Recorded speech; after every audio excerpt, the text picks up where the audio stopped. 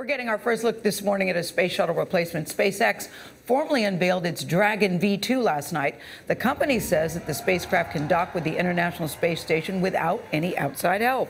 NASA believes the new capsule could launch by 2017. SpaceX founder Elon Musk calls it a big leap forward in technology.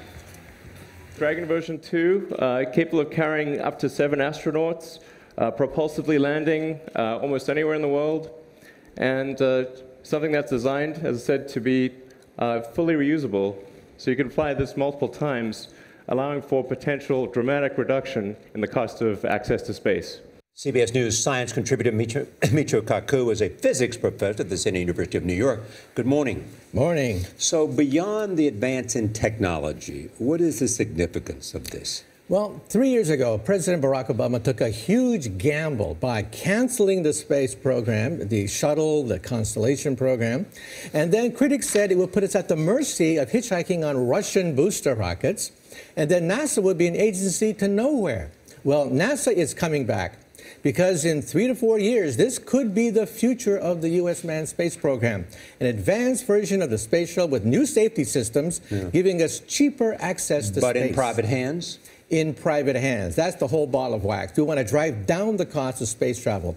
You know, to put this in orbit around the planet Earth costs $10,000 per pound. Mm -hmm. Think of that. That's your weight in gold. Think of your body made out of solid gold. That's how expensive this space program is. And Obama wanted to drive down the cost by relying on private enterprise rather than tax dollars. It's a gamble that seems to have paid off, isn't it? Well, the good news is that the Dragon module and Falcon booster rocket has had four four successful missions in space so far, new safety systems that the old space shuttle didn't have. Mm-hmm. The bad news is that we are subject to blackmail from the Russians.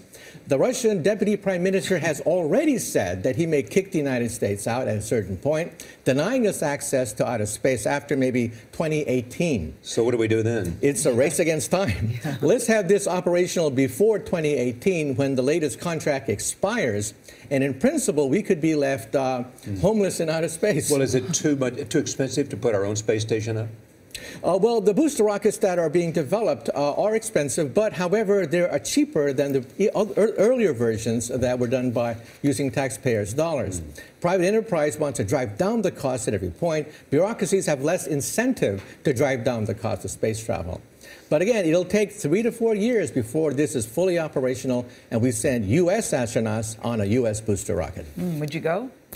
No. Okay, all right. I'll let, I'll let all others right, get all the accolades and all Thank the bravado. You. Thank you. I wouldn't go either. I'll be with you. Charlie would go.